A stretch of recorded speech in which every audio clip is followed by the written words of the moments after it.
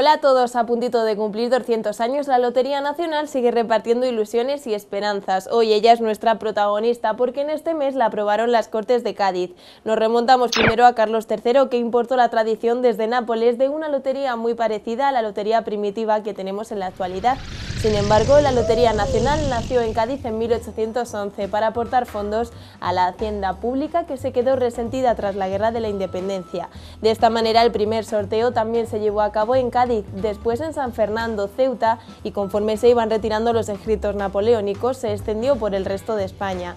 Madrid pasaría a ser sede de la llamada Lotería Moderna. Estas y otras curiosidades más te las contamos en breve. Asiste a los vigésimos Encuentros de Juventud de Castilla-La Mancha participa en el segundo certamen de trabajos de investigación sobre voluntariado y cooperación y educación para el desarrollo. Te invitamos a conocer el CIPE.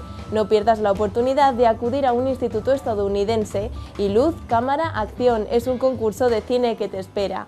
¿Sabías que los billetes de la Lotería Nacional se consideran valores del Estado? Pues sí, y el salón de sorteos es precintado desde la noche anterior por los claveros, tres personas con una llave distinta a cada una. 3 millones de Nuestro año, nuestra voz es el lema de los vigésimos encuentros de juventud de Castilla-La Mancha en los que colaboran el Instituto de la Juventud, la Diputación de Ciudad Real y el Ayuntamiento de Almagro ya que se desarrollarán en este municipio del 26 al 28 de noviembre. El alojamiento y la manutención son gratuitos así que si perteneces a una asociación juvenil, a un consejo de la juventud, eres informador o dinamizador juvenil, monitor, técnico o simplemente eres manchego y te interesa el tema, no dudes en inscribirte antes del 23 de este mes. Dos años lleva ya la Fundación Castellano-Manchega de Cooperación poniendo en marcha el certamen de investigación para fomentar el estudio, por un lado, de la cooperación para el desarrollo y también del voluntariado. Hay tres modalidades de participación que son mediante una tesis doctoral, un trabajo de investigación o una beca para proyectos de investigación. Si estás realizando cualquiera de estas tres posibilidades, debes presentar el trabajo antes del próximo 15 de diciembre.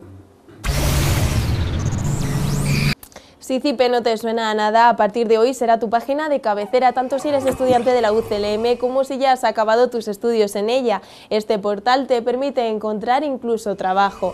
Es el centro de información y promoción del empleo que tiene como misión facilitar el desarrollo profesional de los graduados en la universidad regional, acercándolos al mundo laboral. Por ello, en esta página hay ofertas de trabajo, orientación profesional, cursos de posgrado, foros de empleo y todo lo que necesitas para ponerte ya a trabajar. Visítala. El Departamento de Estado de Estados Unidos patrocina la siguiente oferta. Se trata de permitir que dos estudiantes españoles en la rama de educación conozcan de primera mano el sistema educativo americano junto a otros estudiantes de Alemania, Francia y Reino Unido. Para ello tienes que presentar la solicitud hasta el 15 de diciembre y cumplir los requisitos de ser mayor de edad, tener un buen expediente académico, comunicarte en inglés y estar dispuesto a cumplir un programa educativo con servicios a la comunidad. El programa se llevará a cabo en julio y agosto del año que viene e incluye los gastos de viaje, el alojamiento, la manutención y todo el material que necesites. No pierdas esta oportunidad. Te invitamos a hacer una película promocional para la Oficina de Publicaciones de la Unión Europea y ganar con ello un premio para tu escuela o universidad. Así que luz, cámara y acción, casi se llama este concurso que premia la creatividad y las habilidades técnicas de los jóvenes que estén estudiando asignaturas de comunicación audiovisual. Tienes que realizar un corto o una película divertida sobre los servicios de librería de la Unión Europea y el diario electrónico de licitadores. Competirás con alumnos de todos los centros educativos de los 27 países europeos así que mucha suerte y envía el tuyo antes del 17 de enero.